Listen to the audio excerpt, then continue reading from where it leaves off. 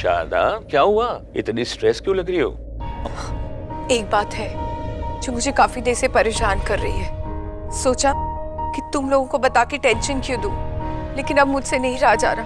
अरे बताओ भी तो मुझे। वो पंडिताइन का फ़ोन आया था। वो कह रही थी कि उसकी जान जाएगी वो बचेगी नहीं। अरे शारदा किसकी ज... किसकी जान जाएगी? कौन मरने वाला है? अरे किसकी बात हो रही है बताओ भी। अरे वही तो पता नहीं चला। जिससे पहले उनसे पूछती फ़ोन ही कट गया। मैंने वापस फ़ोन लगाने की कोशिश की लेकिन फ़ोन लगा ही नहीं।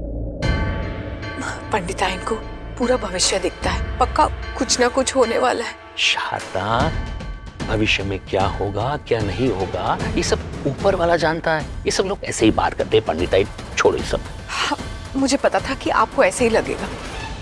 अरे वो पंडिताइन Oh God, God से शारदा पंडिताइन का ख्याल दिमाग से निकाल लो।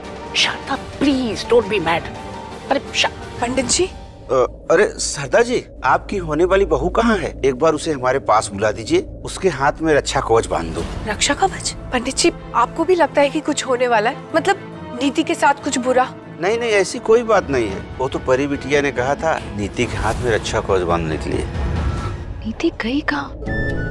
अब एक मिनट हाँ। कहाँ जा रही हो? मैं बस अभी आई। बट जा कहाँ रही हूँ? मैंने कहा ना मैं बस अभी आई। अरे एक बार बता दो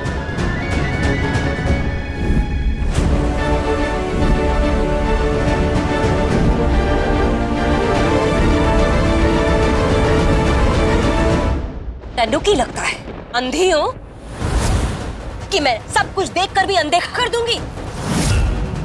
ये ये जो तू फिसलने वाला पाउडर ऐसे डाल रही थी क्यों डाल रही थी? क्या करना चाह रही थी तू इसे? ऐसे डाल के?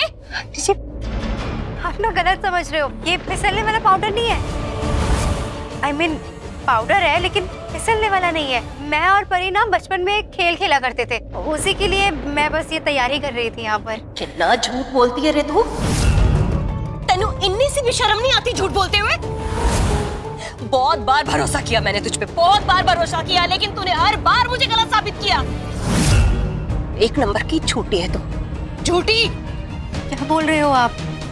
मैं मैं बिल्कुल झूठ नहीं बोल रही हूँ मैं मैं सच बोल रही हूँ। ये पाउडर फिसलने वाला नहीं है और किसी का पैर इससे फिसलेगा नहीं। नहीं फिसलेगा इससे किसी का पैर? सच्ची ना